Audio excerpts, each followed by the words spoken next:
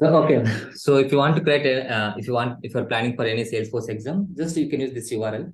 So once you open this URL, you can see login and password. If already you are having account, you can use login and password. In case if you are completely new to the this uh, uh, exam, then what you can do, you have to create a this create a new Webassessor login. Okay, just click on this create new Webassessor login. Okay, so here you can give any email address. For example, if I want to create a, on my name, so what I can do is I can just give any name example, Ramesh at the rate of gmail.com. Your email address, it should be in the email format. You don't need to give exact email, you can, it should be any email format you should give, okay? And password. So password, you should follow all these like things. Whatever something is there, you can just follow all these things. Okay. Here you can give the first name. How it is uh, like displaying in your uh, any uh, identity card, you can give that first name, last name, email address. Your personal Gmail, you can give anything here. Okay.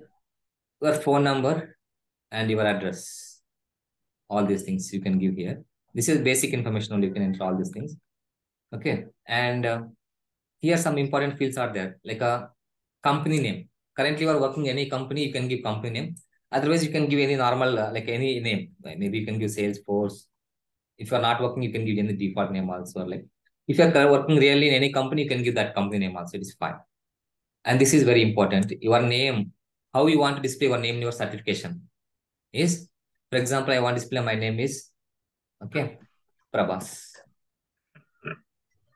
Raju. So I can give this name. How you want to display, you can give that for that that exact name here. Are you a Salesforce employee or customer or partner?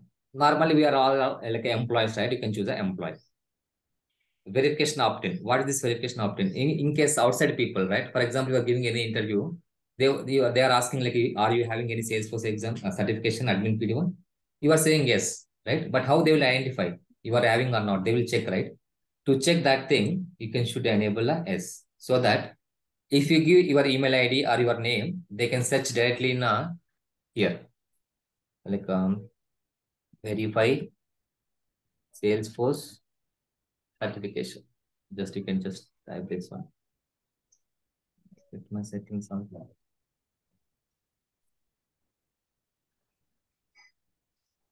So this is very important.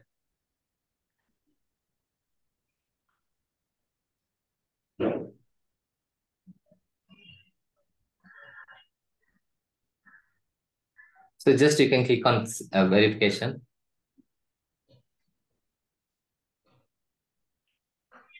For example, you can give your email ID here, web email, whatever the email ID you are giving, right? That web email also you can check with that so that you will get an email or you can search here only. Here only it will display anything you can. For example, I'll check with my name. For example, my email ID is varaprasad4sfdc at the rate of gmail.com, right? If you just enter your Gmail, whatever the email you are giving, right? At the time of uh, booking exam here, you can give email ID, right? Whatever the email address you are giving here. So this email you can give, so they can search with that email. You can search. I'm not a robot. So it will display what are all the certifications Varaprasad is having. You can just, just they can click it here. They can see all the certifications, whatever they have. You can add this to your LinkedIn or you can print it or you can add it to wherever you want. Okay, So so that's why you have to, if you see that option, you want to, uh, if anyone want to verify, you can just make it a S. It is mandatory, you can enable so that other people can check. So mainly you are uh, like working in which sector, so you can make it private. That's it. This is the important fields. Like you can give any name here, not uh, like an exact Gmail, but it, it is better if you, whatever the Gmail you are using for your Salesforce. For example, already everyone is having Trailhead account, right? Maybe I have on my Trailhead account like uh, Varaprasad trailhead salesforce at of salesforce.com.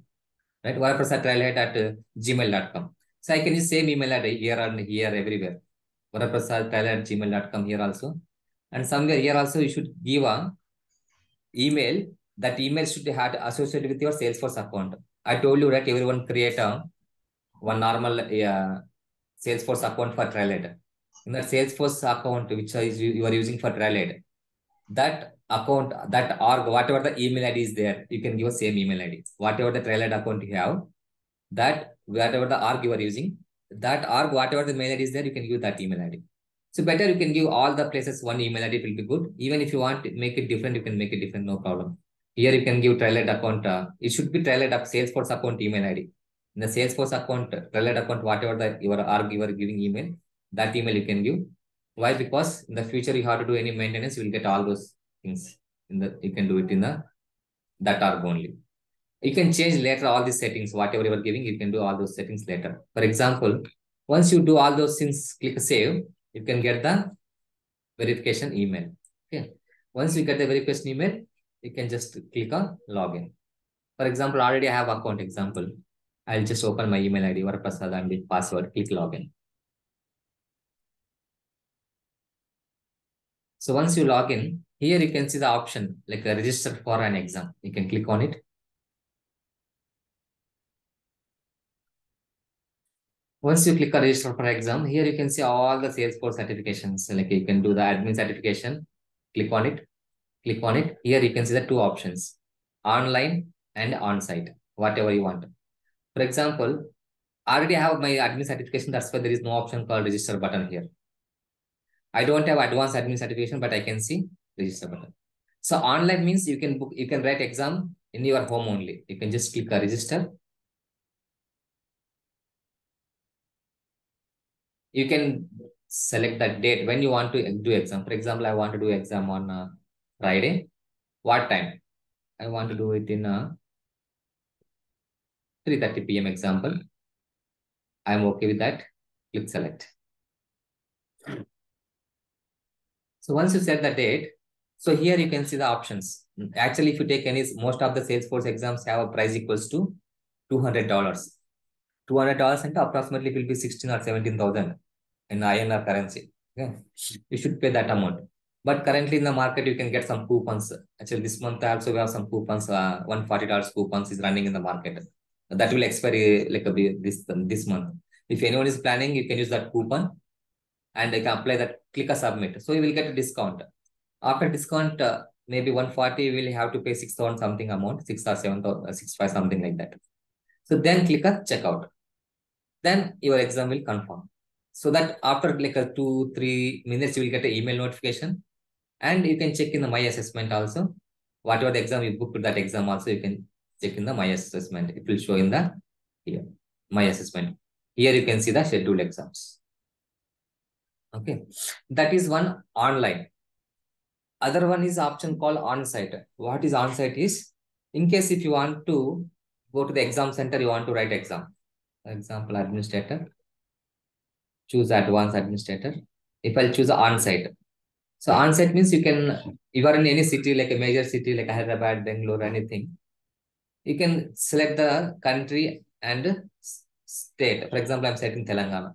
Click a search in Telangana, you can see all these are like exam centers. You can go or directly you can write exam. For example, I want to write a Salesforce exam on uh, which is which is nearby your location. You can select it. Click select. Then again, same settings, day to time, all those uh, remaining things are common. Time. And you can select the thing and coupon, apply the exam. Like this, you can create account, you can apply the exams.